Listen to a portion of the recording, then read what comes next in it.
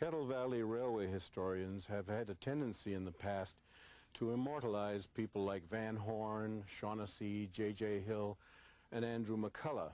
To me, however, the real heroes are the working stiffs of the Kettle Valley Railway. These are the geezers that work day and night, freezing or boiling weather, to make sure that the long, heavy freights, or the little locals, or the fancy passenger trains reach their destinations on time. To me, these people are the disappearing ones. And to me, it's very important that the Kettle Valley Railway, or for that matter, what little is left of it, should be a memorial to these working stiffs, these tough, ornery, fun-loving characters.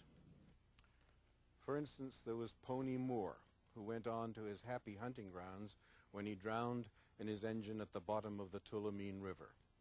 Coho Joe, who used to stink up the engine cab when he heated up his salmon sandwiches on the niggerhead. Andy Leopold, who not only fixed the tracks, but also ran a trap line in the high Coquihalla. Engineer Henry Lament, who broke both of his ankles when he unexpectedly had to jump out of a lady's bedroom window. And then there's the ghosts of the nine young hobos who haunt the tracks near Jessica since the 1926 fiery crash. Han Kwok Lee, the Chinaman, who blew himself to pieces up near Hydraulic Lake.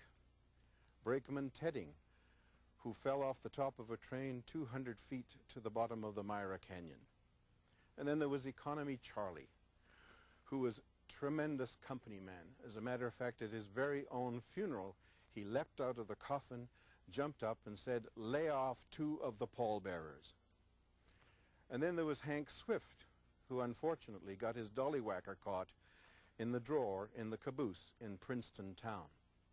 Then there was engineer Murdoch McKay, who used to like to stop his train in the snow sheds to make sure that the cold, melting waters landed on the backs of the bindle stiffs who were sunning themselves on the top of the boxcars.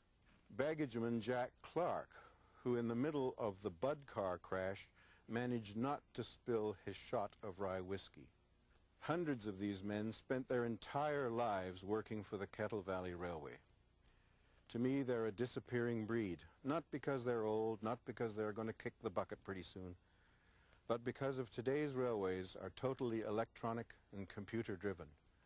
We don't need these working stiffs anymore. These men who built the rails, ran the trains, and eventually helped make Canada rich.